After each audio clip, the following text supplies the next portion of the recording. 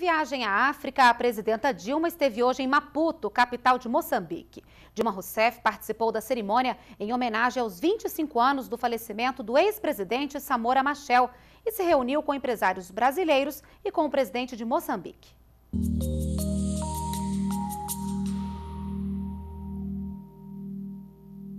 Moçambique fica na costa leste da África. De acordo com o governo moçambicano, o país tem cerca de 23 milhões de habitantes. População que parou nesta quarta-feira para as homenagens oficiais a Samora Machel, falecido em 1986 e que foi o primeiro presidente de Moçambique depois da independência de Portugal em 1975. A presidenta Dilma Rousseff, acompanhada de outros quatro presidentes africanos, participou da cerimônia e depositou flores no túmulo de Samora, no Monumento dos Heróis da Independência.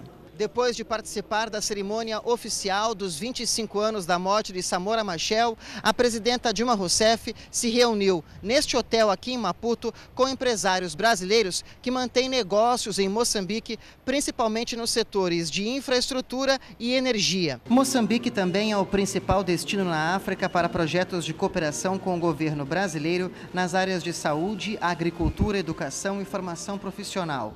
Até 2013, o governo brasileiro vai investir 70 milhões de dólares para apoiar estes setores. As trocas comerciais entre Brasil e Moçambique somaram no ano passado mais de 42 milhões de dólares. As exportações do Brasil são de carnes, veículos, caldeiras e máquinas para a indústria. E as importações são de fumo e tabaco processado. Relações que foram passadas a limpo neste encontro entre a presidenta Dilma Rousseff e o presidente de Moçambique, Armando Guebuza, no Palácio da Ponta Vermelha, sede do governo moçambicano.